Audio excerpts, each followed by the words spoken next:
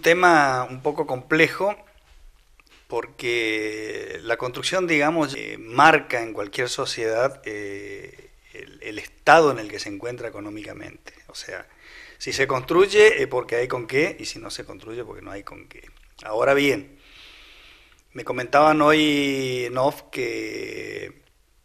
que desde el ministerio, ¿no es cierto?, recién asumido, habían planteado la idea de paralizar todas las obras públicas y eso no lo digo por la experiencia personal que no toca todo lo que estamos en este rubro, sino que es una decisión un poco dura y aberrante porque en cualquier país del mundo, en cualquier estado, para salir de una crisis, eh, lo primero que se hace es motorizar esta actividad porque es una generadora muy inmediata de fuente de trabajo. Y hoy la Argentina particularmente ya debería estar declarándose eh, en estado de alerta o de emergencia total porque eh, está afectando a los sectores más vulnerables y estamos hablando ya de, hambre, que es una cosa terrible que estemos padeciendo los argentinos esto. Eh, Doña Rosa está complicada hoy en, la obra privada y bueno, o sea, somos demasiado como para tan poca eh, expectativa que hay en el, en el área, ¿no? Tenemos que admitir que históricamente el metro cuadrado promedio de la construcción es eh, de mil dólares. Nosotros vivimos en una economía literalmente encubierta, pero eh, dolarizada, o sea, todos los productos o la gran mayoría de los productos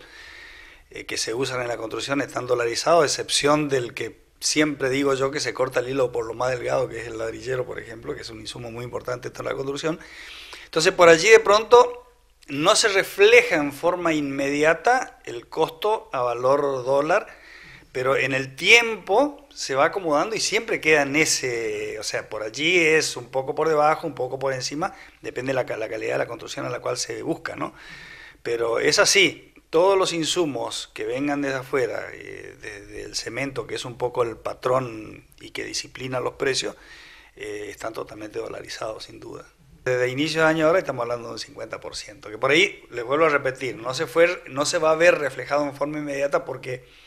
la paritaria de la mano de obra no, nunca se disparan, ni siquiera con la realidad de lo que vive la economía del país, menos con el dólar,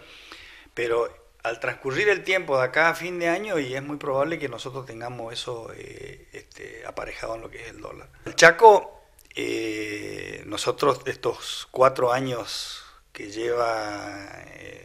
la provincia con un gobierno no alineado a Nación, no sé si ese habrá sido el colaborante para que las cosas sean así, pero sí, la obra pública estuvo totalmente parada, no se vio, no se vislumbró nada que diga, bueno, una pequeña esperanza para que eso se revierta y obviamente que ya estamos al, final de este, de, este, de este periodo de cuatro años y ya no lo veo como para decir tener el, el aliciente de que esto pueda revertirse, no lo veo realmente.